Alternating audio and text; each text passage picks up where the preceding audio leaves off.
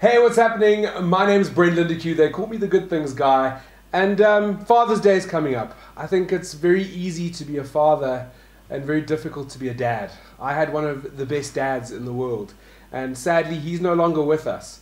Um, there's great dads that are fighting for their kids right now, who are fighting some of the hardest battles, um, and I think we need to all be aware of that. So, our dream dads, with their reach for dream kids, we want to support them. We want to give them love by visiting the Facebook page and by donating a little bit of money to a really big cause. Wishing you guys only good things.